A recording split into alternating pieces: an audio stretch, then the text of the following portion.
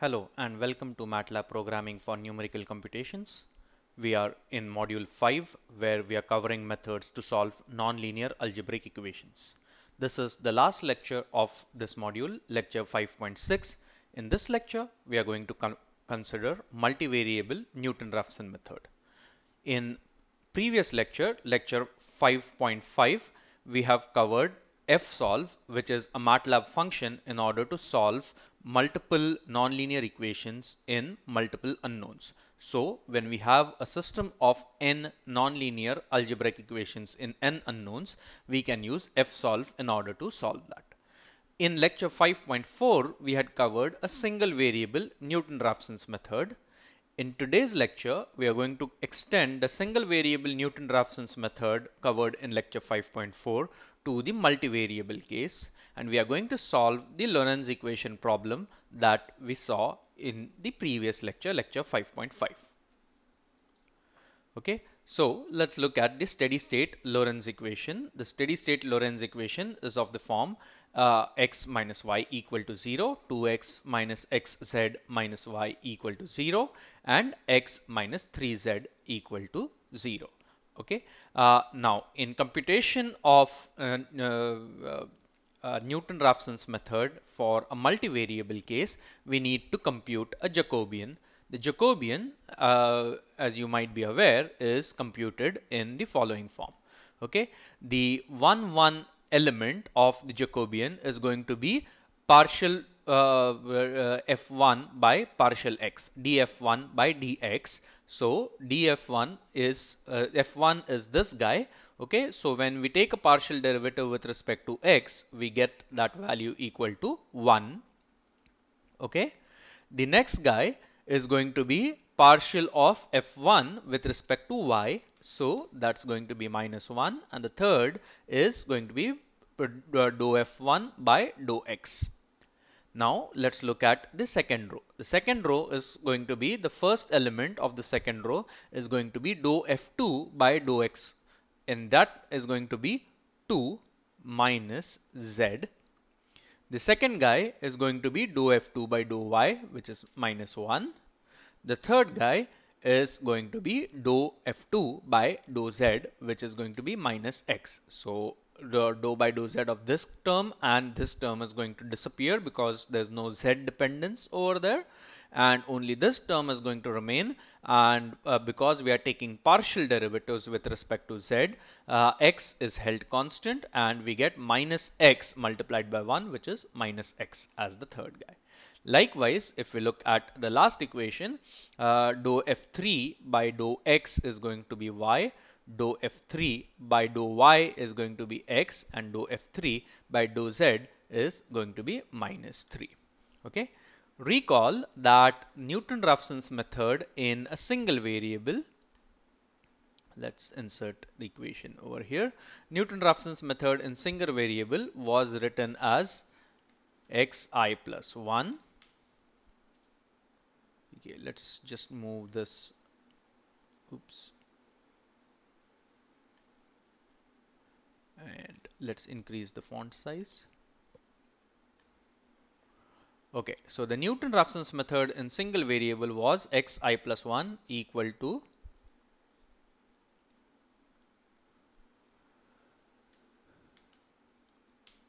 xi minus fi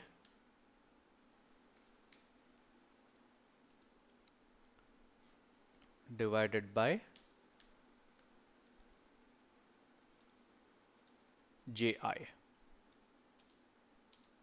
okay where j in in that case was nothing but f dash. In case of multivariable case we are going to just convert all of this into vectors.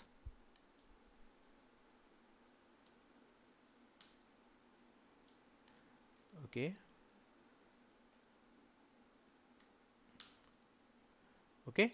And because we cannot divide by j what we need to do instead is take an inverse. Okay? So this is going to be ji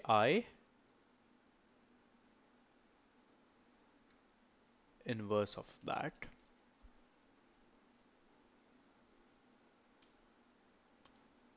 Multiplied by fi And this is our multivariable Newton-Raphson's.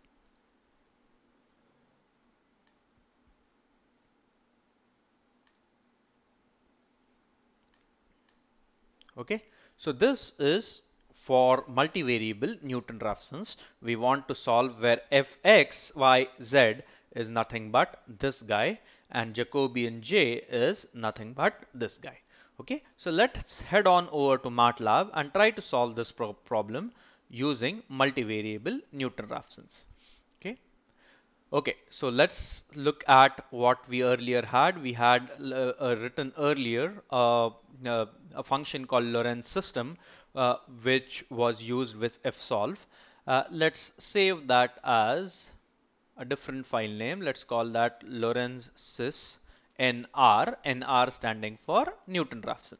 Okay, and we need to use the same function name as the file name. So we'll just replace the function name with the file name. This particular file needs to calculate both f value as well as the Jacobian. So let's call the Jacobian as Jack. And let's define Jacobian. Okay, and let's look at what we had over here. 1 minus 1 and 0 so j is going to be 1 comma minus 1 comma 0. The second row is 2 minus z minus 1 minus x 2 minus z minus 1 minus x.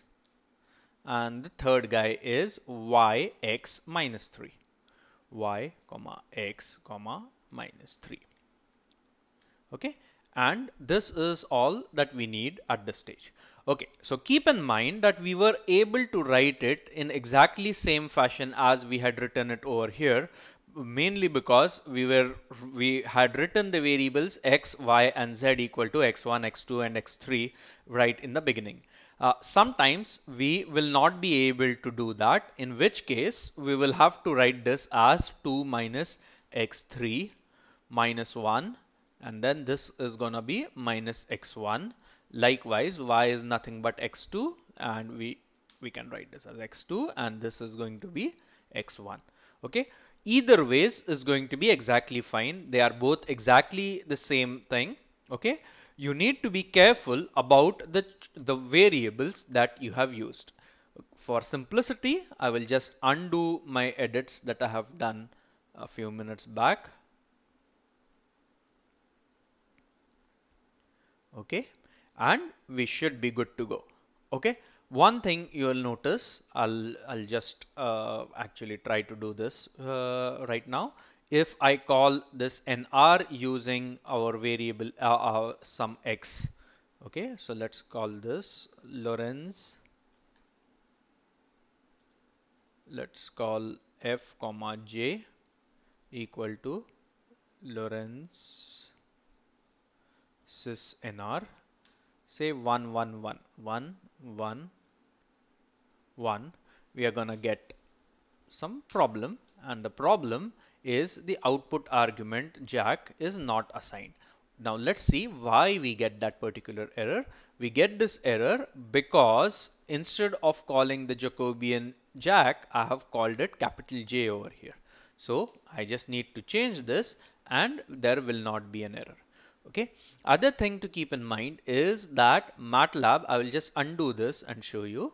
Now MATLAB is fairly helpful when it comes to uh, pointing out some errors or warnings. So if you see over here, what was the green button has changed now to orange button over here and it says that now if you click over here it will go to the location where it is giving you a warning if you take your mouse and hover at that point you will you will be able to see the warning. The warning says the function return value jac jack min, might be unset. What that means uh, is that matlab is trying to tell you that in this function Lorenz nr i'm expecting jack as my output variable. However, in the entire function, I have not specified what that jack is. So I should go here and change my j to jack. When I do that, you notice that the orange uh, bullet has turned into green, which says that no warnings are found. Okay, so let's save this. Okay, now let's say we want to go to Newton-Raphson's and we want to do a multivariable Newton-Raphson's. So let's go over here and save as multi multi variable nr for Newton-Raphson's. Okay, let's say so law solve not yes solve a sequence of nonlinear equations using NR, Newton-Raphson. Okay, now our initial conditions was capital X equal to 1, 1, 1. Okay, keep in mind what I'm doing over here is I have taken a previous uh, uh, solved problem and I'm editing that rather than writing this entire multivariable Newton-Raphson from scratch. Maximum iteration was 50 and tall x to keep the same as what we saw in fsolve in the previous lecture. We will take the tall x as 1e minus 6 okay? Computation using uh, not fixed point iteration Newton-Raphson okay our initial x oh, we should call this as x naught. Our initial x is x naught. Our x old is also x naught. Okay now over here f comma j is equal to Lorenz's nr of x okay so previously what we had was we calculated f using 2 minus x plus log x. Instead of that, instead of our fx equal being equal to 2 minus x plus log x, our fx is x minus y uh, and so on and so forth. Our fx was x minus y 2x minus xz minus y and xy minus 3z. So we replaced this particular guy with this Lorenz's NR and Lorenz's NR in addition to giving f also gives Jacobian. Okay, our new value of x is going to be our old value of x minus Jacobian inverse so inv j multiplied by f. Okay? Error is going to be x minus x old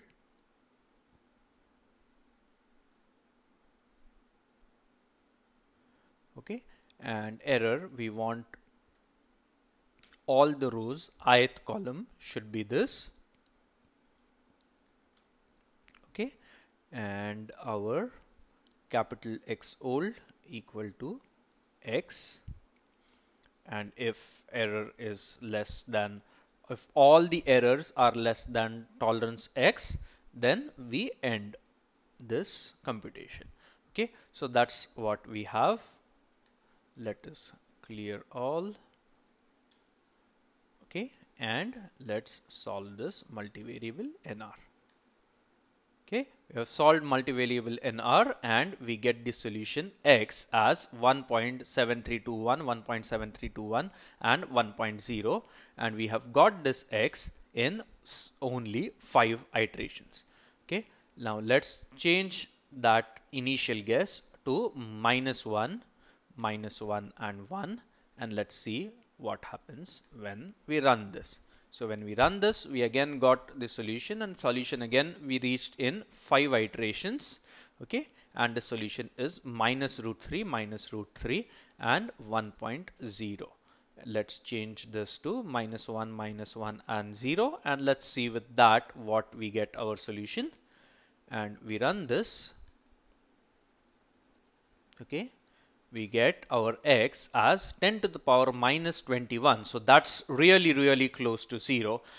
this is the overall code that we have used in order to solve the system of three nonlinear equations in three unknowns using multivariable Newton-Raphsons. We started off with the single variable Newton-Raphson code and the changes that we made were primarily at two locations.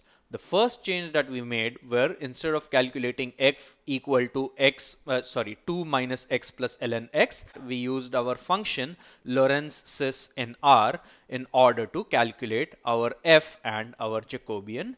And instead of using x equal to x minus f divided by df, instead of that, inverted Jacobian and pre-multiplied our function f with that Jacobian okay? That was the other change that we made. The third change that we made was that error in any ith iteration is no longer a single value uh, uh, but it's a column vector.